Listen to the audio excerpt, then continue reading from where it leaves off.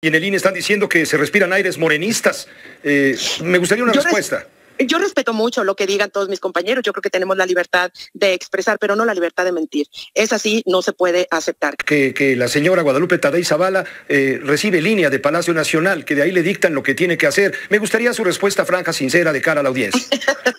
a mí me parece que cuando estamos en un proceso electoral, eh, eh, todo puede decirse y todo puede hablarse. Dependiendo de quién hable y quién diga, corresponde a una estrategia política. eso para mí merece todo el respeto porque están en la posibilidad y el derecho de hacer lo que a su eh, consideración convenga para su estrategia política. Pero lo que yo puedo decir a todo el auditorio, que además es vasto, tu auditorio, Pepe, es que así no son las cosas. Este... Bienvenidos mexicanos a una videoinformación más de su canal Legión Política. Yo soy su amigo Alberto Mut. Y ahora sí que vamos a ver cómo a Pepe Cárdenas traga saliva y terminó totalmente, totalmente agachado. Como bien le dice la consejera presidenta del INE, Guadalupe Tadei, que por cierto hay que celebrar lo que sea por fin un árbitro, y en este caso consejero del INE, que sea totalmente imparcial y que castigue por igual a los partidos políticos. Acá no se pide más que eso, que actúen como deben de ser, como funcionarios públicos totalmente imparciales, que eso no existía con Lorenzo, ni el, perdón, ni Mureyama. Entonces, vamos a escucharlo amigos amigas, porque lo trata de increpar de algunas maneras no, bueno, más bien muy tendenciosas, diciéndolo, obviamente, de su, de su mismo cerebrito, donde dice que según le dictan desde Palacio Nacional lo que tiene que hacer. Y más lejos de la verdad, porque si nos damos cuenta, el INE todavía hace unas semanas multó entre línea del tribunal por más de 9 millones de pesos al partido Morena y como lo hemos dicho, aquí no se trata de beneficiar a nadie, que actúen como lo debe que ser y sobre todo que se respete el voto popular. Es lo único que se pide, no se les pide más. Obviamente eliminar los excesos, porque ya vimos que van a salir con la vieja confiable, por eso AMLO quiere eliminar al INE quiere eliminar al TRIFE, quiere eliminar al INAI y nada más lejos de la verdad, pero la gente de facha y esos tipos de conservadores a veces el cerebro no les da para investigar, que lo que se quieren es eliminar los privilegios, porque tener tantita madre que ahora sí que la presidenta del INAI, 600 mil pesos en viajes, tantita madre en un año, pues, pues por razón los fachos y conservadores quieren regresar esos privilegios, porque no les miden eso. Pero bueno, eh, tomando el tema, vamos a escuchar y presten muchísima atención como Pepe Cárdenas, lo repito, le tocó tragar saliva. Vamos a ver que no se entregan y hay votos que se ponen sobre la mesa. Es decir, no se puede hablar de una falta de consenso de parte de una de las partes del colegiado, es en todo el colegiado. Los votos no existen para llegar a los nombramientos y seguiré buscando denodadamente el consenso para llegar a estos nombramientos, Pepe, pero no nos extrañe, esta figura siempre ha existido en, el instituto siempre se ha utilizado porque es el mecanismo para salvaguardar las actividades del instituto y no poner en riesgo por ningún motivo todas las actividades del proceso electoral. Presidenta Tadei, eh, algunos consejeros electorales eh, contrarios a usted, desde luego, eh, dicen que usted está abusando de los encargos de despacho y en el INE están diciendo que se respiran aires morenistas. me gustaría una respuesta. Yo respeto mucho lo que digan todos mis compañeros. Yo creo que tenemos la libertad de expresar, pero no la libertad de mentir. Es así, no se puede aceptar. Eh, no hay eh, incertidumbre, no hay este, desconfianza, no hay falta de trabajo y no hay eh, aires de ningún color. El instituto tiene entre sus integrantes en el Consejo General a los partidos políticos. Ese es el diseño y esa es la conformación del Consejo General. Y aquel consejero o consejera que no estemos dispuestos a escuchar a todos los partidos políticos, entonces estamos haciendo mal nuestro trabajo. Son parte integral del Consejo General, aun cuando solamente votamos 11 consejeros y consejeras, los siete representantes de los partidos políticos y siete representantes del Poder mm, Legislativo forman parte de la mesa de trabajo del Consejo General. Eso es inevitable, no hay que sacarle la vuelta ni inventar absolutamente ninguna historia, Pepe. Es así como se ha venido trabajando en el instituto desde siempre.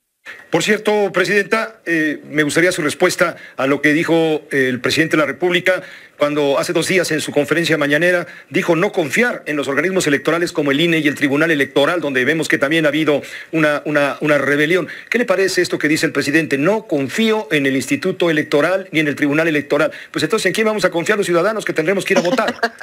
claro, Pepe, a ver, yo creo que las expresiones, insisto, son libres de cada una de las personas aquí en México. Esa es una garantía en nuestro país incluido el presidente de la República. Respeto, por supuesto, su opinión, pero yo sostengo que el Instituto Nacional Electoral es un organismo eh, necesario para el buen funcionamiento del orden gubernamental, del orden eh, eh, pues la, gobernanza, la gobernabilidad en el país. ¿Por qué? Porque es el que garantiza la celebración periódica de elecciones y la transición pacífica del poder. Y este no es un discurso teórico, es un discurso real, es un discurso en donde nosotros podemos dar cuenta cada proceso electoral, Pepe, que sale toda la ciudadanía a votar, es porque está declarando su confianza al Instituto Nacional Electoral, de que su voto se da en total libertad y se crecía, se respeta y se cuenta. Esa es la necesidad de contar con un instituto electoral en un país. Creo que necesario para la vida em, de gobierno, la vida pública en nuestro país y la tranquilidad para todos y todas las mexicanas. Por cierto, Presidenta, los consejeros a través de la Comisión de Quejas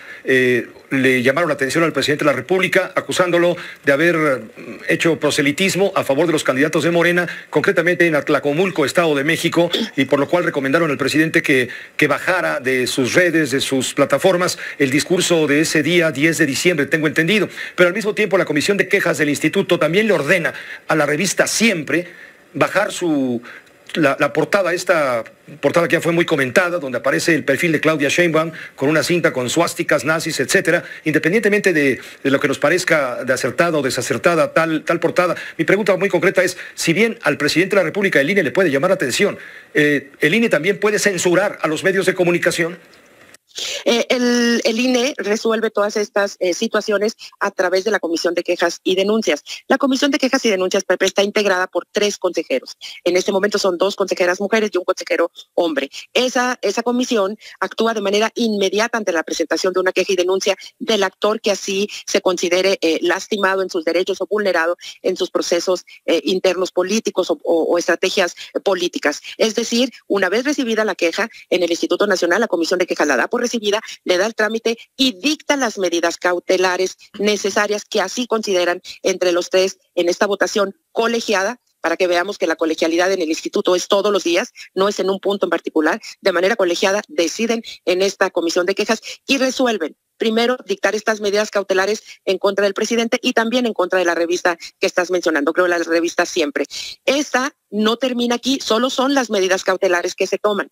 El asunto de fondo lo resuelve el Tribunal Electoral del Poder Judicial de la Federación. El camino que siguen estos trámites es que llega al instituto la queja, aquí se resuelven solo medidas cautelares, se sustancia el procedimiento y se envía a la sala regional del Tribunal Electoral del Poder Judicial de la Federación. Y de ahí todavía puede llegar a la sala superior, que es el tribunal. En máxima expresión, ya son sus sentencias inatacables, inobjetables. Y ahí se decide el fondo. Hasta ahorita lo que se ha dictado no es la censura en sí, sino lo que está aduciendo el quejoso eh, es que se dicten esas medidas cautelares para evitar mayor daño de lo que ellos están planteando en sus em, escritos de quejas y denuncias. Pero esta sigue su camino, Pepe. Eh, Presidenta, le agradezco mucho el haber tenido la oportunidad de conversar con usted y que nos aguantara las preguntas que le hemos hecho. Tengo una última en eh, donde mm, pues me, han, dicho a través de redes sociales con frecuencia que, la señora Guadalupe Tadei Zavala eh, recibe línea de Palacio Nacional, que de ahí le dictan lo que tiene que hacer. Me gustaría su respuesta franca, sincera, de cara a la audiencia.